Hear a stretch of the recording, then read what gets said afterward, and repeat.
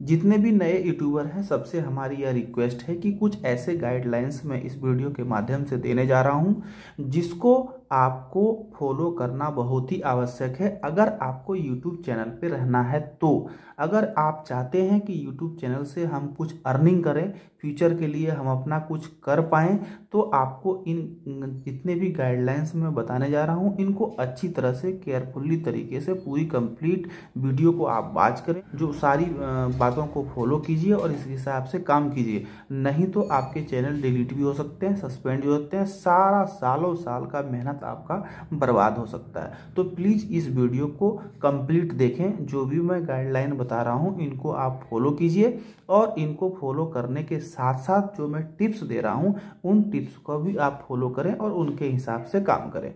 धन्यवाद। हेलो गाई सबसे पहले आप सभी को नमस्कार।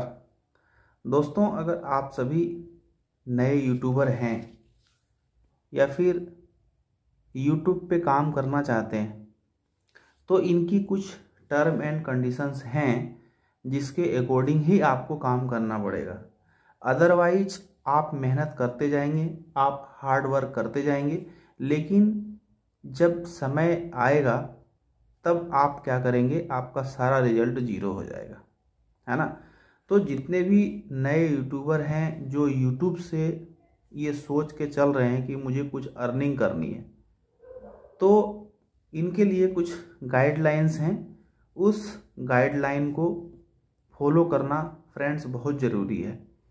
अदरवाइज़ आपका चैनल डिलीट भी हो सकता है सस्पेंड भी हो सकता है और जब आपका चैनल सस्पेंड हो जाएगा या डिलीट हो जाएगा तो उस समय आपको काफ़ी अफसोस होगा कि काश अगर ये गलती मैं नहीं करता तो शायद अभी हम यूट्यूब पे होते। है ना फ्रेंड्स तो इसमें बहुत सारी चीज़ें ऐसी हैं जिसको आपको नज़रअंदाज नहीं करना पड़ेगा, है ना? जैसे अगर हम बात करें तो आप सबसे पहले आप अपना कोई वीडियो का जो भी कैटेगरी है, आप सबसे पहले आप डिसाइड करें कि हमें किस टॉपिक पर वीडियो बनानी है है ना? बहुत सारे टॉपिक हो सकते हैं। आप डांस का टॉपिक ले सकते हैं, टीचिंग का टॉपिक ले सकते हैं, स्टोरी का आप आराम से ले सकते हैं, है ना? तो कुछ ऐसे हैं, कुछ ऐसे कैटेगरीज हैं जिसको आपको सबसे पहले डिसाइड करना पड़ेगा। या तो फिर आज के डेट में चल रहा है कि हम क्या खा रहे हैं, हम क्या पहन रहे हैं, हम कहाँ जा रहे हैं, हम कहाँ आ रहे हैं, हम कैसे जा रहे हैं, कैसे आ रहे हैं। तो जस्ट लाइक जिसको ब्लॉग बोलते हैं तो इस टाइप का भी आप वीडियो बना करके आप पोस्ट कर सकते हैं अपना ब्लॉगिंग कर सकते हैं, है ना? तो सबसे पहले आप क्या कीजिए, आप एक कैटेगरी डिसाइड कर लीजिए कि आपको किस टॉपिक पे वीडियो बनानी है। उस टॉपिक पे आप वीडियो क्रिएट कीजिए एडिटिंग कीजिए सॉन्ग वगैरह जो भी है आप उसमें मिक्सिंग कीजिए और उसे आप अपलोड कर दीजिए, ठीक है? एक तो ये प्रकार का हो गया। दूसरा ये हो गया कि जब भी आप वीडियो एडिटिंग करते हैं तो आप हमेशा इस बात को ध्यान में रखें कि हम किसी चीज़ का, किसी और अदर यूट्यूबर का आप कोई भी मटेरियल आप अपने वीडियो में यूज़ नहीं करें, है ना? अगर आप ऐसा करते हैं तो आप कॉपीराइट के शिकार हो सकते हैं, है ना? और अगर आप इससे थोड़ा सा नेक्स्ट स्टेप में अगर हम जाते हैं तो बहुत लोग क्या करते हैं कि वीडियो अपलोड करते हैं बट सब्सक्राइबर उनका इंक्रीज नहीं होता है।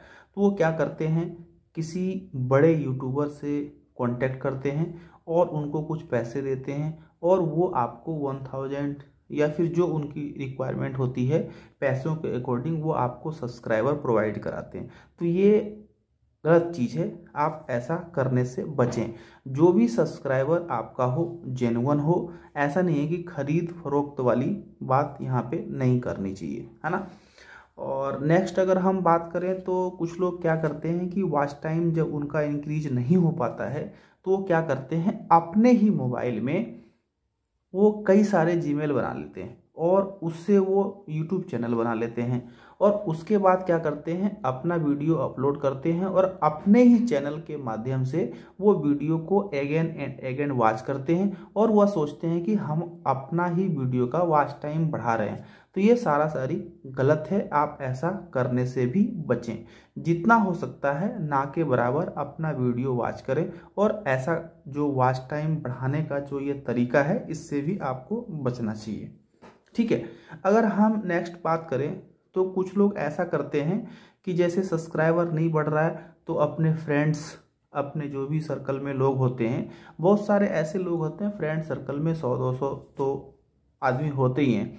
उनका मोबाइल पकड़ते हैं, उनका यूट्यूब ओपन करते हैं और अपना चैनल सर्च करते हैं और उनको सब्सक्राइब कर देते हैं, ठीक है? तो आपने सब्सक्राइबर तो कर दिया, आपका सब्सक्राइबर बढ़ गया, लेकिन जब आप वीडियो अपलोड करेंगे तो वॉच टाइम नहीं आएगा व्यूज़ नहीं आएगा। उसका सबसे बड़ा रीज़न ये है कि जब आपने वीडियो बनाया, वो किस टॉपिक का है? और जो आपने 200 सब्सक्राइबर उनसे मोबाइल लेकर के जो भी तरीके से आपने सब्सक्राइबर चैनल को सब्सक्राइब कर दिया, आपके सब्सक्राइबर इंक्रीज हो गए। लेकिन क्या इंक्रीज करने से वो आपके टॉपिक को पसंद कर रहा है क्या?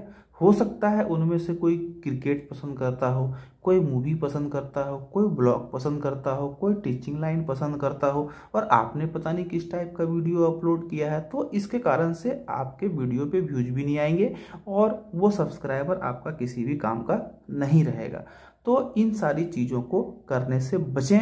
अदरवाइज़ नहीं तो आपका मेहनत भी बेकार जाएगा कॉपीराइट भी आ सकता है व्यूज़ भी नहीं आएगा सब्सक्राइबर तो बढ़ेंगे, लेकिन वो कोई काम का नहीं रहेगा। इसलिए नहीं कि अगर जब वॉच टाइम नहीं है तो आपका सब्सक्राइबर कोई काम का नहीं तो हमारी रिक्वेस्ट ये है, आप सभी से जितने भी नए यूट्यूबर हैं, आपसे मेरी यही रिक्वेस्ट है कि आप ये सब करने से बचें।